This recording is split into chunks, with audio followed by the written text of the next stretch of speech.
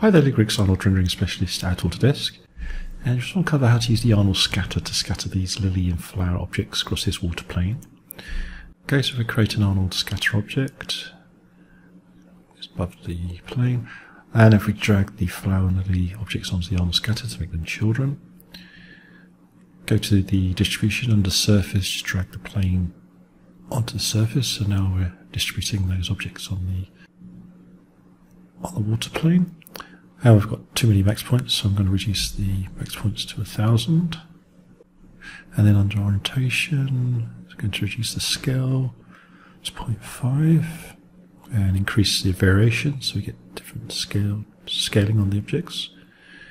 And notice the lilies are all pointing one direction, so if we go to a rotation, just increase it and increase the variations. Now they should be rotating in all directions. Okay, so we can use effectors to change the distribution of the objects. We've got to use a MoGraph shader effector, so just click that.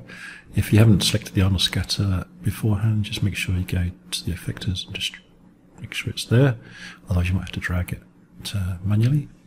And then under instances, just make sure the shape mode is set to effectors, otherwise you shouldn't see any effect. We select the shader effector. We can add a custom shader, create a gradient. And under parameter, make sure that your modify clone is set to 100%. So now we should see the effect of the shader gradient. So we can bring this down if you want more flowers. Change the gradient type.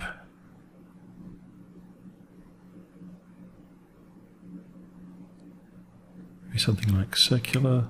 If you want the flowers in the center, we just reverse the colors. So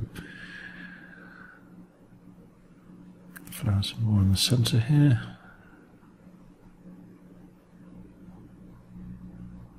Something like cylindrical or spherical.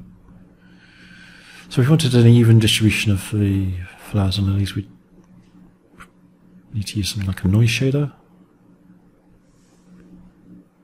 And we can change the noise type.